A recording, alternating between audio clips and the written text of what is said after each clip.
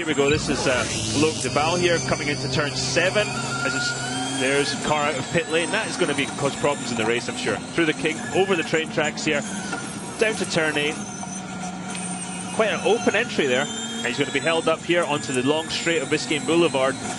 In the race, you're going to be setting up here for the little kink just as you brake for turn one. That kink's going to cause some problems, I would say, in uh, in the race. A little bit of regen there, practicing a bit of regen, and um, right up close to the wall, both apex and exit. Again, practicing regen down the gear. Turns two and three. A little slow there through uh, through three. Braking for four. You're going to see the curb here on the right over a bump out to the wall, back down the other way on Biscayne Boulevard. Probably another one, maybe your best overtaking uh, opportunity there into turn five. He's he's kind of sitting behind you a little bit with the traffic.